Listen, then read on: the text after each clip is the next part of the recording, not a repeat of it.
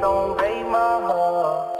Don't tear me apart. I know how it was. Trust me, I've been broken.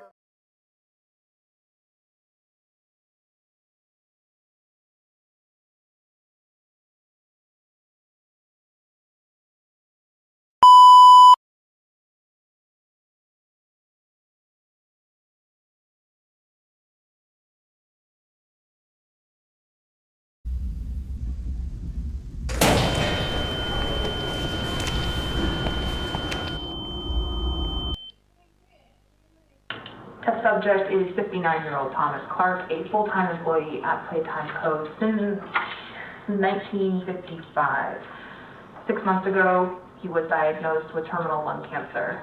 Now, Mr. Clark, of sound mind, has volunteered for this experiment. We have eye movement.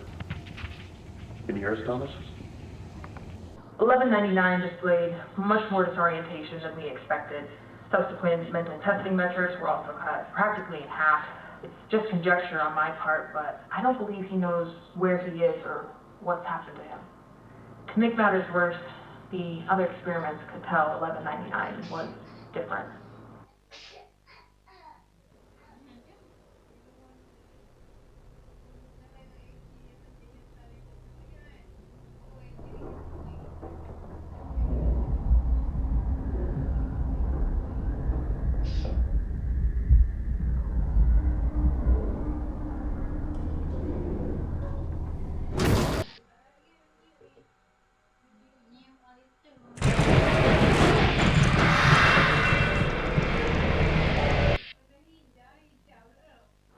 They would have killed him had the research team not intervened, and even then, there was still significant damage to the internal structures with some of the anatomy, namely the larynx and the thyroid, having been completely devoured.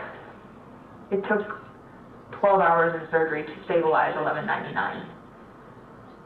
We keep him separated from the others now.